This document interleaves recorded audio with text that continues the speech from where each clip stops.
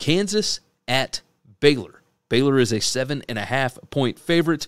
Uh, the total is 58. It's 12 p.m. Eastern Time on ESPN2. We'll go on and pull up the numbers, and shockingly, I have got Kansas favored in this game. Now, my numbers are. Uh, I'll tell you this I trust my numbers. I really do. Uh, it, sometimes they look a little crazy, uh, but these are opponent adjusted and everything. So just throwing that out there. We don't know if Blake Shapen is going to play in this game. Of course, he went out with a concussion last week, so that could end up being a, a pretty big deal. Uh, Kansas 9 1 1 against the spread in their last 11 conference games. They are 1 and 11 against the spread, their last 12 against Baylor. That doesn't really tell us a whole lot because, to be honest, uh, they like Kansas doesn't have a good against the spread record against anybody in the Big 12 as it sits right now. Baylor 24 and 2, uh, 20, 20 wins, four losses, and two pushes against the spread after a spread loss like they took at uh, West Virginia last week.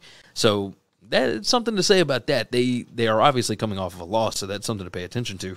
Um, looking at the numbers here, I mean, obviously Kansas's defense is bad. Uh, number 122 in PPA per drive defense. That's not good. There's lots of ways that Baylor's offense will be able to take advantage of them. Uh, running the ball will certainly be one. Number 30 PPA per rush on offense for Baylor against number 111 PPA per rush on defense for Kansas.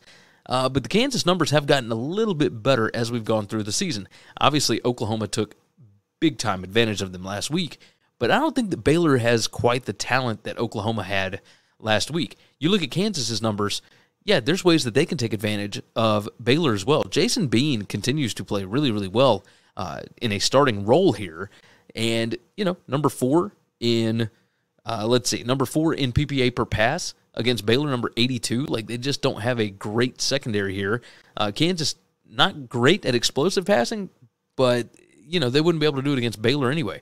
Uh, success rate, number 29, passing the ball for Kansas, number 91 for Baylor secondary here. You look at passing downs rate, passing downs PPA, etc. That all leans Kansas. As far as running the football, uh, Kansas uh, they do that more often. Obviously, their their rush rate is fifty six point three percent. Um, they they're not going to have a ton of luck against Baylor's uh, defensive line here, but like I, they might still be able to get something done. So the biggest thing is you're going to have to run the ball some, but they're still really, really efficient throwing the football, even if they only do it 43% of the time. I think that in this spot, looking at field position, looking at everything, I mean, it, it, Kansas has just a ton of leans in this game. They are better as far as giveaways per game, number 22.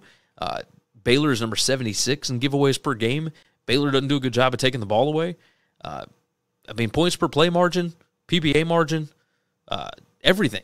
Like while Kansas does have a not good defense, there are certainly things that Kansas can take advantage of on offense. I'm going to ride Kansas plus the seven and a half. Like I think this is a pretty good team. Uh, on even on the road, like this is a spot where you know it, they they need to try and find a win here pretty soon because this schedule gets pretty difficult, and they still need that one win to get bowl eligible. So this is a spot where they could absolutely do it. Uh, like like you saw, my numbers like Kansas outright. Yeah, I'll ride Kansas plus seven and a half. Absolutely. Why not?